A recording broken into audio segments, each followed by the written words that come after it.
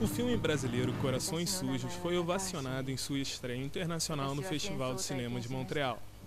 A produção, dirigida por Vicente Amorim, é a única latino-americana competindo na sessão oficial de longas-metragens. A história do filme conta como parte da comunidade japonesa no Brasil se recusou a acreditar que o Japão tivesse perdido a Segunda Guerra Mundial. Aqueles que admitiam a derrota eram chamados de corações sujos e perseguidos como traidores.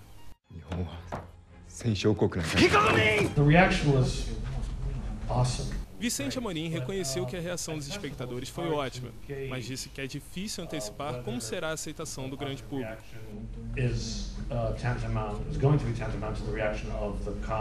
Uh, uh, uh. A produção, que tem o ator Eduardo Moscovis no elenco, deve estrear nos cinemas no dia 28 de outubro. Em Montreal, Corações Sujos disputa o prêmio principal com outros 19 títulos.